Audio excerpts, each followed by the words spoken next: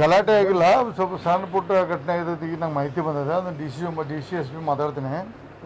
ಮತ್ತು ಈಗ ಪುತ್ರ ಮತ್ತು ರಾತ್ರಿ ಒಂದ್ ಮೂರು ಗಂಟೆಗೆ ಈಗ ಮಾಹಿತಿ ಬಂದಿದೆ ಪೂರ್ಣ ಮಾಹಿತಿ ಇಲ್ಲ. ಅದನ್ನು ಕಾನೂನು ಚರ್ಚೆ ಮಾಡ್ಕೊಂಡು ಕ್ರಮ ತಗೊಳಕ್ಕೆ ಹೇಳ್ತೀನಿ. ಹ್ಞೂ ನೋಡೋಣ. ಹೌದು ಮಾಡಿದ್ರೆ ಇಪ್ಪತ್ತು ಇದು ತುಂಬ ಮಾಡಿಬಿಟ್ಟಾರೆ ಈಗ ನೋಡೋಣ ಅದೇ. ಅದ್ರ ಬಗ್ಗೆ ನಾನು ರಿಪೋರ್ಟ್ ತರಿಸ್ಕೊಂಡು ಪೊಲೀಸ್ ಏನು ಕಾನೂನು ರೀತಿ ಕ್ರಮ ತಗೊಂಡು ಅದು ಕ್ರಮ ತಗೋದು. ಅದು ಅದು ಅದು ಕಠಿಣ ನಿಲುವು ನಾವು. ಸರ್ ಎಂ ಎಸ್ ದವ್ರು ಮತ್ತೆ ಅವ್ರು ತಮ್ಮ ಇದು ಮಾಡಿದಾರೆ ಸರ್ ನಮ್ಮ ಇವ್ರ ಮೇಲೆ ಕಲ್ಲು ಹೋಗ್ಯದ ಶಿವಾಜಿ ಅವ್ರು ತಗೋತಾರೆ ಸರ್ ಅಲ್ಲಿಗೆ ಕಲ್ಲು ಹೋಗಿದಾರೆ ಸರ್. ಎಲ್ಲಿ? ಚಪ್ಪಲಿ ಹೋಗಿದಾರೆ ಸರ್ ಸಂಗೊಳ್ಳಿ ರಾಯಣ್ಣ ಇವ್ರಿಗೆ ಸರ್. ನಾವು ಕನ್ನಡಿಗರ ಮೇಲೆ ಚಪ್ಪಲಿ ಹೋಗಿದ್ದಾರೆ ಸರ್. ನ- ನನಗೆ ಗೊತ್ತಿಲ್ಲ ಅದು ಮಾಹಿತಿ ಪೂರ್ವ ಮಾಹಿತಿ ಇಲ್ಲ. ಆದರೆ ನಾನು ಈಗ ಮಾತಾಡ್ತೀನಿ ಚಪ್ಪಲಿ ಹೋಗಿ ಹೋಗೋದು ಸುಳ್ಳೋದು. ಚಪ್ಪಲಿ ಸುಳ್ಳೋದು. ಅದನ್ನು ಒಂದು ಕೆ ಏಳೆಂಟು ಜನ ಮ- ಅಲ್ಲಿ ಬಂದಿದ್ರತ್ತ ಪೊಲೀಸರು ಲಾಟಿ ಮಾಡಿ ಓಡಿಸ್ಯಾರ. ಈ ಲಾಟಿ ಇಲ್ಲ ಏನಿಲ್ಲ ಅಲ್ಲಿ ಎಲ್ಲ ಪೂರ್ಣ ಹತೋಟಿಯಲ್ಲಿದೆ ನನಗೆ ಮಾತಾಡಿದೆ. ಹತೋಟಿದೆ. ಅದ್ರ ಬಗ್ಗೆ ಸ್ವಲ್ಪ ಟೆನ್ಸ್ ಇದೆ. ಅದನ್ನೆಲ್ಲ ಸರಿಪಡಿಸ್ತಾರೆ ಇವತ್ತೇ ಹೋಗೋದು. ನಾಳೆ ನಾಳೆ ನೋಡಿದೆ. ಜಿಲ್ಲಾ ಉಸ್ತುವಾರಿ ಸಚಿವರಾಗಿ ಸರ್ ಅದನ್ನ ಈಗ ನೀವು ಅದನ್ನ ಸಂಗೊಳ್ಳಿ ರಾಯಣ್ಣ ಸರ್ ಮತ್ತೆ ಅವ್ರು ಏಕಾಏಕಿ ರಾತ್ರೋರಾತ್ರಿ ಸ್ಥಾಪನೆ ಮಾಡಿದ್ರು ಸರ್. ನಿಮ್ದೆಲ್ಲರದು ಆಶಯ ಆಶೆ ಏನಿತ್ತಂದ್ರೆ ಅದನ್ನೆಲ್ಲ ಒಂದು ವಿಜೃಂಭಣೆಯಿಂದ ಜಿಲ್ಲಾಡಳಿತ ಮಾಡೋಣ ಅಂತಿತ್ತು ಸರ್.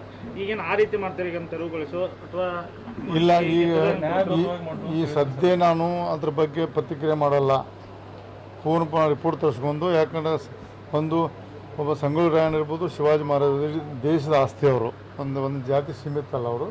ಅವ್ರ ಬಗ್ಗೆ ಯಾವುದೇ ಅಪಮಾನ ಆಗದಂಗೆ ನಾವು ಸರಿಪಡಿಸ್ಬೇಕು. ಅದನ್ನು ಪೂರ್ಣ ಪ್ರಮಾಣ ಸ್ಟಡಿ ಮಾಡ್ಕೊಂಡು ಎಲ್ಲ ಕಾನೂನು ರೀತಿಯಿಂದ ಕ್ರಮ ತಗೊಂಡು ಯಾರು ತಪ್ಪಿಸಿದ ಕ್ರಮ ತಗೋತೀವಿ ನಾವು. ಸರ್ ಇನ್ನೊಂದು ಸರ್ ರಾಜಕೀಯ ಸರ್. ಈಗ ಮೈಸೂರೊಳಗೆ ಸರ್ ಸಾಕಷ್ಟು ವಿಜಯೇಂದ್ರ ಅವ್ರ ಮೇಲೆ ಆರೋಪ ಮಾಡ್ತಾ ಇದ್ದಾರೆ ಸರ್. ಇದ್ರ ಬಗ್ಗೆ? ಸಾವಿರ ಕೋಟಿ ಹಗರಣ ಮಾಡಿದ್ದಾರೆ ಭ್ರಷ್ಟಾಚಾರ ಮಾಡ್ತಾ ಇದ್ದಾರೆ. ನೋಡ್ರಿ. ಅನ್ಅಫಿಷಿಯಲ್ ಪೋಸ್ಟಿಂಗ್ ಮಾಡ್ತಾ ಇದ್ದಾರೆ ನೋಡಿ ಅದು ವಿರೋಧಿಗಳು ಅವ್ರ ಕೆಲಸದ ಮಾಡಲಿ ಅದೆಲ್ಲ ಸುಳ್ಳದೆ. ಒಬ್ಬ ವಿಜೇಂದ್ರ ಯುವ ನಾಯಕರ ಒಳ್ಳೆಯ ಪಕ್ಷದ ಬಗ್ಗೆ ಸಂಘಟನೆ ಕೆಲಸ ಮಾಡ್ತಾರೆ ಅದು ದುರ್ದೇಶದ ಅವ್ರ ಅವ್ರ ಮೇಲೆ ಅಪೋಸ್ ಮಾಡ್ತಾರೆ ಅದೆಲ್ಲ ಸುಳ್ಳದೆ. ಅದೇ ಏನು ಅಥೆಂಟಿಕ್ ಇದೆ ಅವರು ಅದು ತೋರಿಸಲಿ. ಸುಮ್ಮನೆ ಐದು ಸಾವಿರ ಕೋಟಿ ಹತ್ತು ಸಾವಿರ ಕೋಟಿ ಸುಳ್ಳು ಅದು ಅಟ್ಟ ಅವರೆಲ್ಲ ವಿರೋಧಿಗಳ ಹತಾಶೆಯಾಗಿ ಮಾತಾಡ್ತಾರೆ. ರಮೇಶ್ ಜಾರಕಿಹೊಳಿ ಪ್ರಹ್ಲಾದ್ ಜೋಶಿ ಯಾಕೋ ಮತ್ತೆ ಒಳ್ಳೆ ಸ್ನೇಹಿತರಾಗ್ತಾ ಇದ್ದಾರೆ ಈಗ. ಎಲ್ಲೋ ಮುಖ್ಯಮಂತ್ರಿ ಬದಲಾವಣೆ ಆಗ್ತಾ ಮಾಡಿ ನೋಡ್ರಿ, ಮುಂದಿನ ಮೂರು ವರ್ಷವಾಗಿ ಯಡಿಯೂರಪ್ಪ ಮುಖ್ಯಮಂತ್ರಿ. ಅದ್ರ ಬಗ್ಗೆ ಎರಡು ಮಾತಿಲ್ಲ.